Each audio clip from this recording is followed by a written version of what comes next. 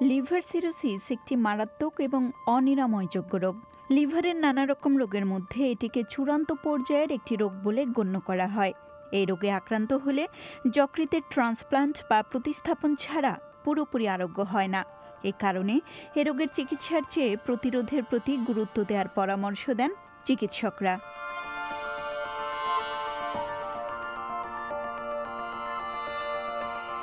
যুক্তরাজ্যের স্বাস্থ্যসেবা বিভাগ এনএইচএস এর তথ্য অনুযায়ী, যখন লিভারের রোগের নানা পর্যায়ের পর কোষগুলো এমনভাবে আক্রান্ত হয় যে লিভার আর কাজ করতে পারে না, সেই পর্যায়কে লিভার সিরোসিস বলে বর্ণনা করা হয়। যখন এই রোগে আক্রান্ত হয়, তখন লিভার বা যকৃত তার স্বাভাবিক কাজগুলো যেমন বিপাক ক্রিয়া রক্ত জমাট বাঁধার উপকরণ তৈরি, ওষুধ এবং রাসায়নিকের শোষণ খাদ্যের পুষ্টি উপাদানের ব্যবস্থাপনা ইত্যাদি করতে পারে না।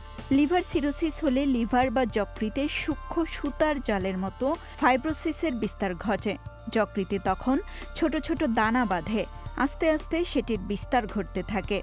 ফাইব্রোসিস ছড়িয়ে পড়লে সেখানে আর লিভার নিজেকে পুনরুদ্ধার করতে পারে না বলে লিভার সংকুচিত হয়ে পড়ে।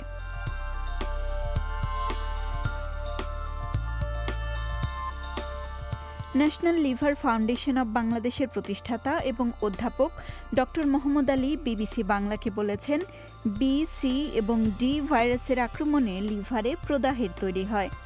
লিভারে প্রদাহের তৈরি করে বলেই একে বলা হয় হেপাটাইটিস, যার ফলে লিভার ক্ষতিগ্রস্ত হয়ে থাকে। দীর্ঘদিন ধরে বি ও সি ভাইরাসের আক্রমণে লিভার বা যকৃতের কার্যক্রম সংকুচিত হয়ে যায়। কার্যক্রম আস্তে আস্তে ব্যাহত হয়। একেই লিভার সিরোসিস বলা হয়ে থাকে। এছাড়া আরও কয়েকটি কারণে লিভার সিরোসিস হতে পারে। এরকম একটি বড় কারণ, ফ্যাটি লিভার বা যকৃতে চর্বি জমে যাওয়া। দীর্ঘদিন ধরে লিভারে যদি মাত্রাতিরিক্ত চর্বি জমে, তাহলে লিভারের কার্যকারিতা হ্রাস পায়।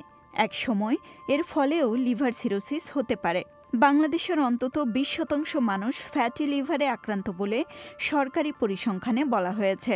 এদের মধ্যে পনেরো শতাংশের নন অ্যালকোহলিক হেপাটাইটিস জটিলতা রয়েছে।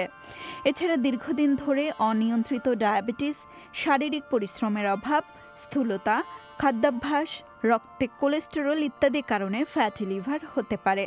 অতিরিক্ত মদ্যপান প্রক্রিয়াজাত খাবার, ইচ্ছেমতো ওষুধ খাওয়া, রাস্তাঘাটে বিক্রি হওয়া দূষিত পানীয়, ব্যবহার করা বরফ, খোলা শরবত বা ফলের মাধ্যমে যকৃতের রোগ ছড়াতে পারে। লিভার সিরোসিস আর লিভার ক্যান্সার এক রোগ নয়, তবে লিভার সিরোসিস থেকে লিভারের ক্যান্সার হতে পারে।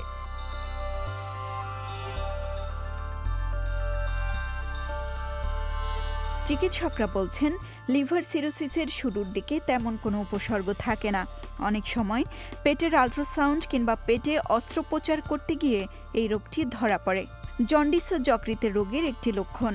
রক্ত পরীক্ষা, বায়োপসি, সিটি স্ক্যান, এমআরআই ইত্যাদি পরীক্ষার মাধ্যমেও রোগটি শনাক্ত হতে পারে।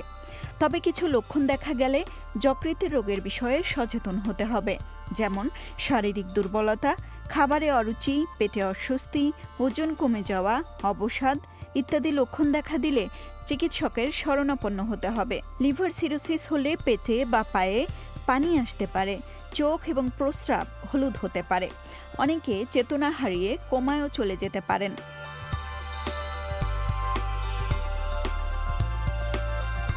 চিকিৎসকরা যকৃতের রোগে চিকিৎসার চেয়ে প্রতিকারের প্রতি বেশি গুরুত্ব দেন। বর্তমানে বিশ্বে লিভার সিরোসিসের অনেক আধুনিক চিকিৎসা উদ্ভাবিত হয়েছে। বিশেষ করে হেপাটাইটিস বি এর ক্ষেত্রে শিশুদের জন্মের পরপরই টিকা দেওয়ার সুযোগ রয়েছে। প্রাপ্তবয়স্করাও এই টিকা নিতে পারেন।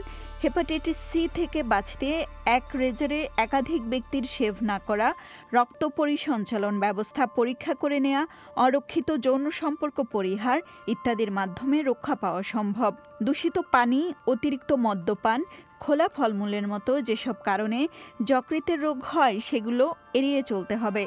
ডক্টর মোহাম্মদ আলী বলছেন, ডায়াবেটিস নিয়ন্ত্রণে রাখা, শারীরিক পরিশ্রম করা, ওজন নিয়ন্ত্রণে আনা, কোলেস্টেরলের মাত্রা নিয়ন্ত্রণে আনা, স্থূলতা দূর করা ইত্যাদির মাধ্যমে লিভার সিরোসিসের ঝুঁকি অনেকাংশে কমিয়ে আনা যায়। লিভার সিরোসিস হলে সারা জীবন বহন করতে হয়, পুরোপুরি আরোগ্য লাভ হয় না। তবে সঠিক চিকিৎসা ও পর্যবেক্ষণের মাধ্যমে জটিলতা দূর করা যেতে পারে, বলছিলেন ডক্টর আলী। এই রোগের ক্ষেত্রে সর্বশেষ চিকিৎসা, লিভার ট্রান্সপ্লান্ট বা যকৃত প্রতিস্থাপন। বাংলাদেশেই এখন যকৃতের প্রতিস্থাপন সম্ভব হচ্ছে, তবে ব্যয়বহুল এই চিকিৎসায় বাংলাদেশে বিশ থেকে পঁচিশ লাখ টাকা খরচ হতে পারে।